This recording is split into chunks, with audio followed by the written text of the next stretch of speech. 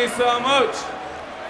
Um, we'd like you all, Reading Festival, to welcome our new guitar player, Jonathan, to the stage. It's alright, isn't he? All right from Mike. We wrote this song together.